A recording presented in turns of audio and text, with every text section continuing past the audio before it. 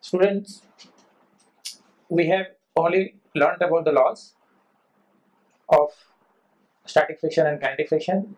Now, I'll just go quickly through the concepts of the friction, then we'll go to the numerical. So, concepts. Okay, concepts that is required for concepts for numericals of friction. First is that force of static friction is directly proportional to normal reaction that we have discussed. Therefore, force of static friction is equal to because this is the proportionality sign this will go and some constant is introduced this is mu s into n so this is the formula that force of static friction is mu s into n where this mu s is called coefficient of static friction.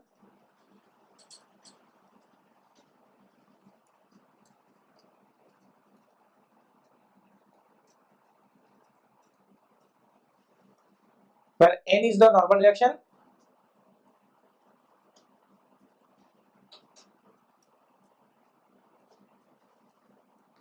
Fs is the limiting force of friction. Fs is the limiting force of friction.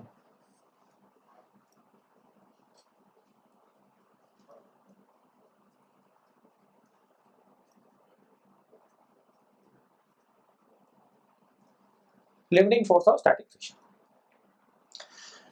Limiting is maximum value of static friction. This is the maximum value of static friction.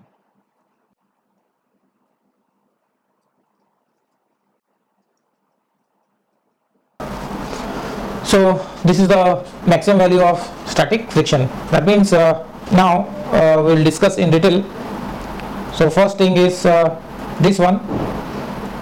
The coefficient of static friction has no unit because it is a ratio of this force by this force.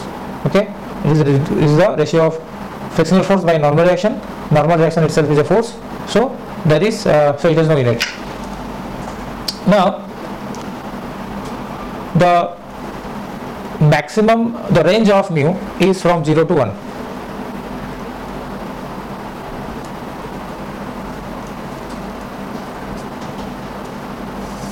this is the value of mu s between 0 to 1 it can be 0 it can be maximum 1 it cannot be more than 1 or it cannot be negative. The surface is smooth then is 0 if it is very rough then it is 1 okay? Now so the thing is that uh, this has no unit and uh, no dimension.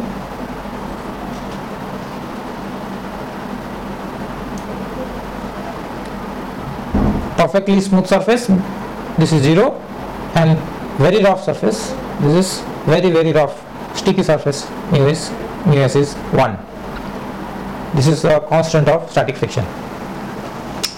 Now let us apply this equation fs is mu into n to numerical.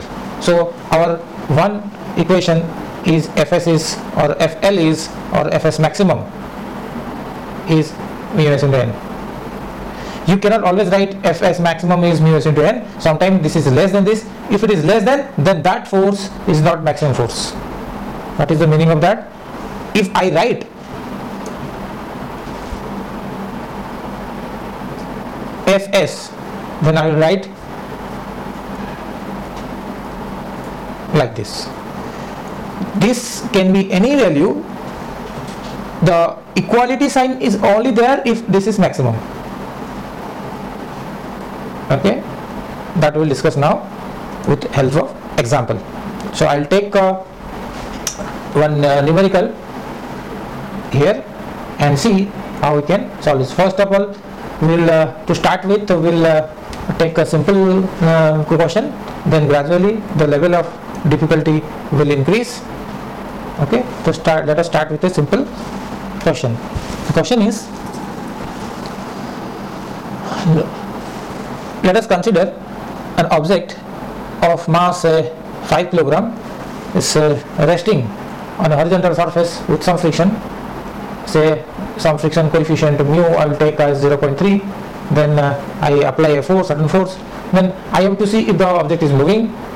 If it is moving then uh, what is the acceleration produced? And what is the maximum value of friction possible there? But all these factors will find. So first let me write the question. Then we'll proceed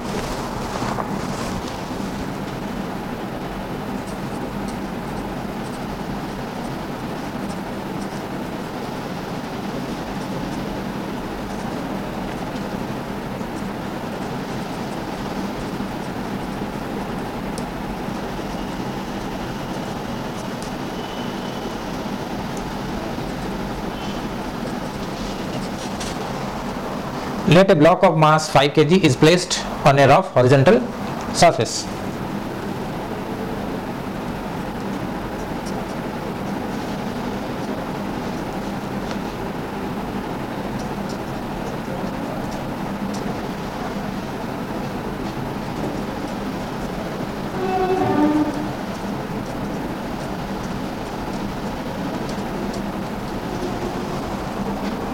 The first part is to find the force of maximum static friction.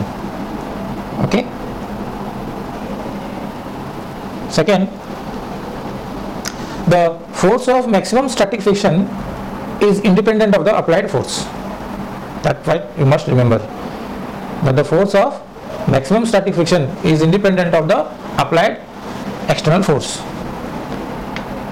So the second part of the question is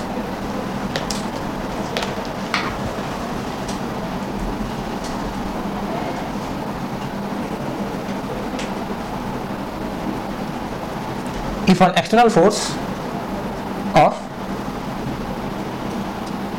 50 newton.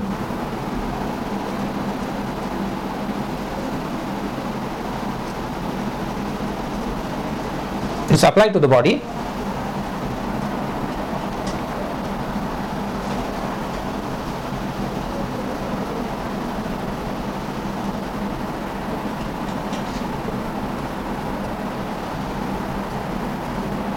then find the acceleration of the body. So i apply a force of 50 newton and see if the body is moving. Then uh, then i have to find the acceleration of that body. So the applied force is uh, 15 newton.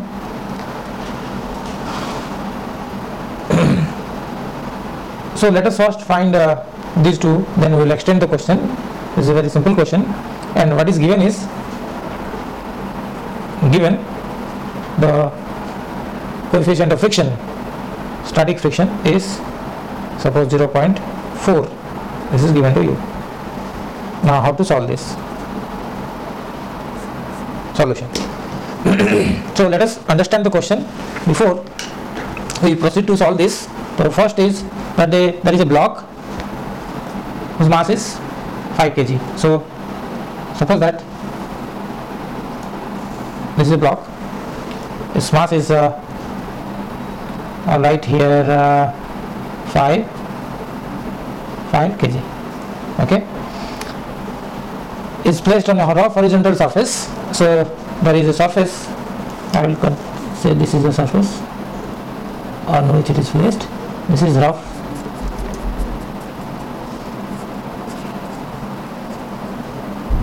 Rough surface.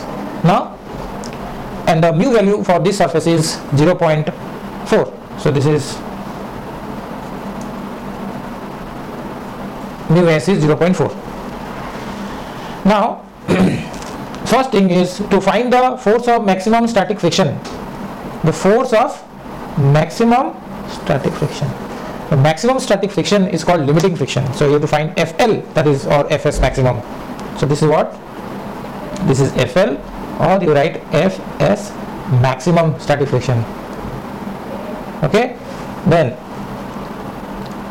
here we know from laws of static friction that fs equals to mu s into n if you write equal to this is maximum so then what is the answer fs equals to maximum okay s Fs maximum equals to mu s. Mu s how much? 0.4 into n. What is n? n is the normal reaction. If the surface is horizontal, the object is placed like this. One force will act through the object that is known as gravitational force. This is weight. The block will experience the weight mg acting downward. This is the weight mg, which is 5 kilogram into 10. g I will consider as 10 meter per second square. So this is uh, equal to 5 into 10. This is 50. 50 newton is acting downward. Okay. If 50 newton is acting downward, then normal reaction will be normal reaction will be n which is equal to this mg. Okay?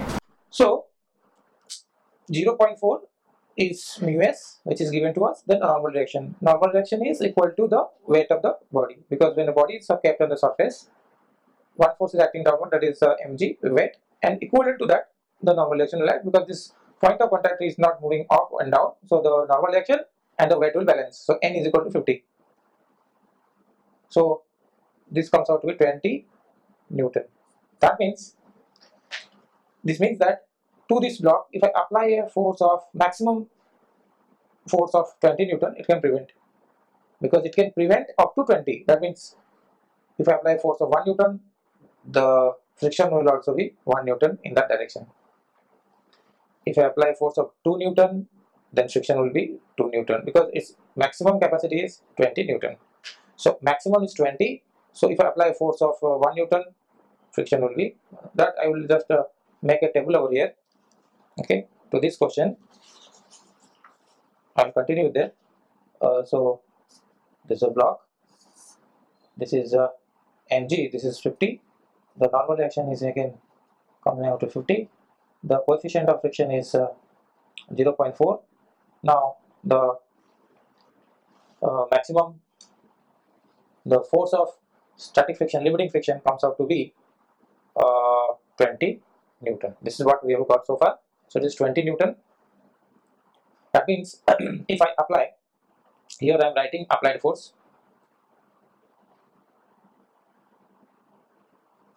Applied force here and uh, frictional force here in this side and see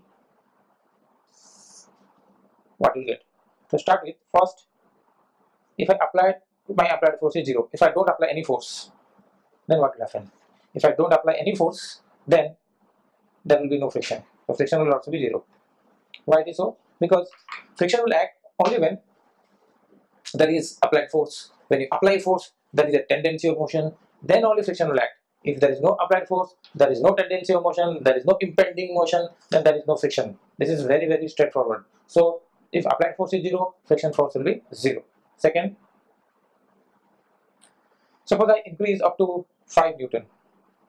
That means to this I apply force of 5 Newton, then friction will not be 20 Newton. That is interesting because friction doesn't believe in wasting the time. It will not apply 20 Newton. It has the ability to apply, it has the capacity to apply 20 Newton, but it will not apply. It will just apply the external force value that is 5 Newton. Because the main purpose of the friction is to keep the two particles or two surfaces in contact with each other. If so, the basic idea is to keep if two surfaces are in contact. Its basic idea is to this point and the other point which are in contact. If you can take any two pair of point, the basic aim of friction is not to separate those two points. That is the basic aim of friction. What I told you, if this is a block, this is another surface I'm just separating those two surfaces to show the my point. There is a point here. Suppose name is A. There is uh, another point say here B. A point is on this first block. This block B point, point is on this second surface. Now initially these two points are together. Together. Basic aim of friction is to keep these two points together always as far as possible so far as possible it always tries to prevent these two from separation it doesn't want these to have relative motion it always want the friction always wants these two points together that is the basic idea of friction so Now what happens is that if I apply a force of suppose 5 Newton, if I apply a force of 5 Newton in this direction, this point will tend to move in this direction. If this point tends to move, then they will not be remaining remain together. They will get separated. If they get separated, then to prevent the point A from moving towards right, the surface develops a force which applies on this block A to this point A a force which is towards left. So if I apply force on this block, any force I apply, the same amount of force is applied by this body on this block or along the surface so that these two forces will cancel out and these two points still remain together. That is the basic idea of friction. So if my force is 5 Newton force, this is 5 Newton force, then friction will be definitely 5 Newton because its maximum value as you can see here is 20. It can prevent up to 20. Okay. Now I increase the force to 15 Newton, then also friction will be 15 Newton. No problem because it can spend up to 20 Newton. Now I apply 20 Newton here the friction will be 20 Newton. It is the this is the maximum value the friction has. It is the maximum value the friction has. It cannot be more than 20 Newton. Applied force can be anything because applied force you can go on increasing that depends on us how to apply the force. That force can be more but then friction has certain limitations it cannot be more than 20 for this situation this question under consideration so here it is 20 newton. So when i apply 20 here also will be 20 but when it is more than 20 suppose i apply 21 newton force then the question is how much force will be the friction providing to the object? Now in this case when the applied force is greater than the limiting value of the static friction then also it will be 20 because it is the maximum it can apply. So if it, my applied force is more than uh, 20 Newton, the maximum limiting value, still the friction will apply its maximum. The friction will try its best. It will give its best. It will give the maximum friction that it has. That is, uh, it will oppose with the 20 Newton force because it has maximum that. And this is 21 Newton is the force that I have applied. This is the external force, and this is the frictional force. So now in this case it is 20 so if my force is greater than its limiting all the time you and keep on increasing the applied force the static friction will always remain 20 till the body starts moving. Because after the body starts moving then kinetic friction will come into play. That we'll discuss some other day. Now so as you can see here basic is we have to understand up to this. If there is no applied force friction is zero. That you have to understand. If this is zero this is zero if this is maximum 20 this also is maximum 20 if it is less than the limiting. That means if I applied force is less than limiting then friction doesn't apply 20 here. That you remember. Because if you apply 5 if you apply suppose 5 and friction apply 20 because it has the ability to apply 20 suppose if it applies 20 then there will be relative motion. The relative motion is this force will be greater than this force and the body will start moving in that direction so what was the basic purpose of friction? The basic purpose of friction, the basic idea of the friction is to keep these two points together, keep these two bodies together. So if you apply 5 Newton, its obvious objective should be to apply 5 Newton in the opposite direction so that the forces cancel out and these two bodies are still together. If you apply 5 Newton, the friction can provide a maximum of 20 Newton, but it cannot apply. So this is not possible. If you do so, then body starts moving in that direction, the purpose is not solved. So therefore, when you apply 5 Newton, this also applies 5 Newton. Okay, thank you.